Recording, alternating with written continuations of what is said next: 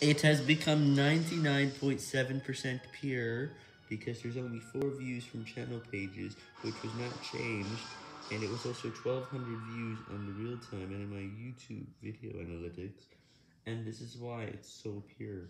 It can become, at this rate, up to 99.9%, percent assuming no more views are counted and it gets to 3000 views, and I'm not sure if this will happen, but it could be 99.8% otherwise if at least one more view doesn't count.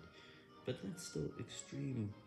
I'm, I'm not sure if it will happen, but still, I also have a few more extra views.